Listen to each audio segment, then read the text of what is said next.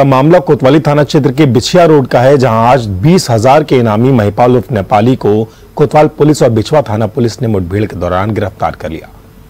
पूरे मामले की जानकारी देते हुए पुलिस अधीक्षक विनोद कुमार ने बताया कि मैनपुरी कोतवाली पुलिस और बिछवा थाना पुलिस संयुक्त रूप से वाहन चेकिंग कर रही थी।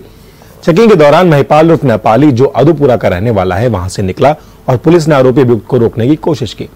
वह नहीं रुका तो उसने पुलिस के ऊपर गोली चला दी और जवाबी कार्रवाई में पुलिस ने फायर कर दिया। जिससे आरोपी अभियुक्त के पैर में गोली लगी और गोली लगने से आरोपी मौके पर गिर पड़ा, जिसके पास से एक मोबाइल, एक तमंचा और मोटरसाइकिल सहित कारतूस भी बरामद हुए। आरोपी अभियुक्त के ऊपर एक दर्जन से अधिक अलग जनपदों में मुकदमा पंजीकृत है। इसी के चलते पुलिस द्वारा आरोपी अभियुक्त के ऊपर बीस हज़ार का इनाम भी रखा गया था।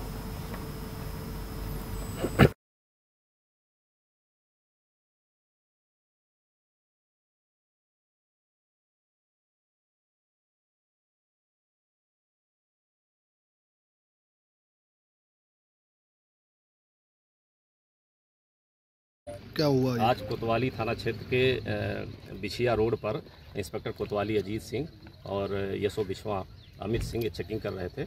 इस दौरान एक काले मोटरसाइकिल से एक व्यक्ति आता हुआ दिखाई दिया, उसको रोकने का प्रयास किया तो वो चकमा दे के भागने लगा और पुलिस पर फायरिंग करने लगा।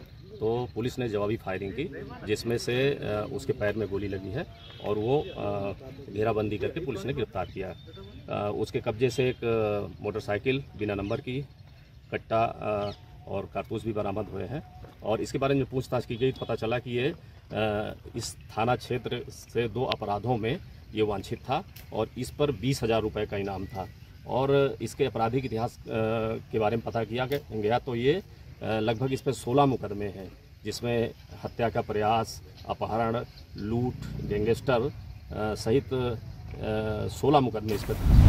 अगर आपको हमारा वीडियो पसंद आया हो तो हमें लाइक करें सब्सक्राइब करें और ज़्यादा से ज़्यादा शेयर करें। और हाँ बेल आइकॉन दबाना ना भूलें, ताकि हर खबर का अपडेट आप तक पहुँचे तुरंत। आप हमें इंस्टा ट्विटर और फेसबुक पर भी फॉलो कर सकते हैं। हमारी आईडी है at the rate J M D news flash